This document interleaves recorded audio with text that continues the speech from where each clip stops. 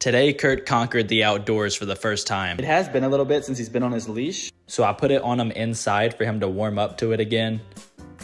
You ready? Oh, he's ready. Yes, sir. What? It has plenty of space, for anyone wondering. It just has a lot of fur up there, so it looks like it's tight. Look at that young man. He knows what he's doing. Start out here to where it's still an inside setting with some outdoor to it. I think this is a great starting point. And there he is. He wants to go under there so bad. I had to get a spider web off of his whisker right here. You're doing it, buddy. I got an absolute death grip on this leash. You're doing it. I'm so proud of you. You're doing awesome, buddy.